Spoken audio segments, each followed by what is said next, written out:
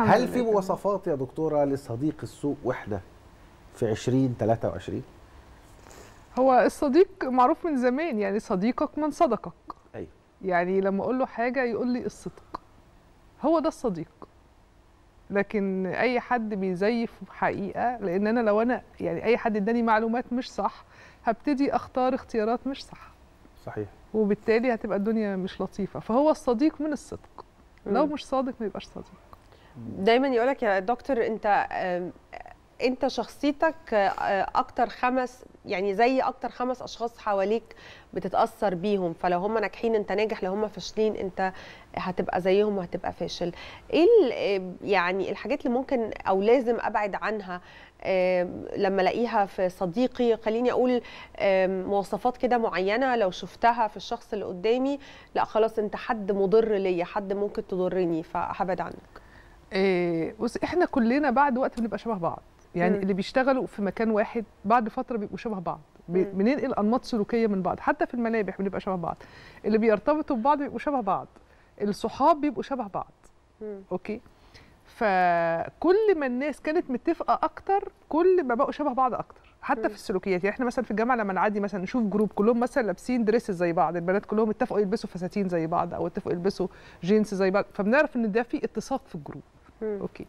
المفروض الصديق إن أنا بقى أقربه مني كل الناس كويس وكل حد فيه حاجة كويسة وحاجة مش ولا بد. فأنا المفروض آخد الكويس يعني ما بخليش الناس كلها على نفس المسافة مني.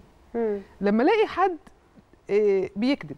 مش بيكذب في حاجة يعني مثلا آه، آه، حتى في حياته يعني حتى في حياته إن مثلا لأ أنا كان عندي كذا وبعته وهو أصلا ما كانش عنده. okay. دي حاجة ما تضرنيش. هو بيحاول يتزين اجتماعيا أو يتجمل اجتماعيا أو مم. مجتمعيا أو كده. بس ده معناه إن مبدأ الكذب موجود عنده.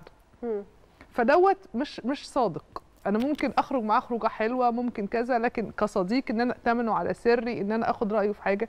لأن هو طبيعي بي مش صادق إحنا كده مش هيبقى لنا اصحاب يا دكتور لا يعني أكيد في ناس لا ما ما يعني لا مش قصدي من أكيد الناس عمم. على قدهم يعني إحنا مم. إحنا إحنا على فكرة إحنا في الحياة بنتكئ على بعض مم. ومفيش حد يقدر يعيش من غير أصدقاء طبعاً. واللي من غير أصدقاء بيجي لهم اكتئاب والمفروض يبقى عندنا عدد كبير جدا من العلاقات يعني أنا المفروض ما يبقاش عندي صديق أو اتنين. لا. أنا المفروض يبقى عندي كتير. لأن أنا لو عندي صديق أو اتنين حد سافر وحد ما طلعش على المستوى اللي أنا متوقعاه فأنا أكيد هيجي لي اكتئاب. صحيح. وهقول إن الدنيا كلها ما فيهاش خير. هي مش الدنيا ما فيهاش خير. أنا خدت عينة صغيرة.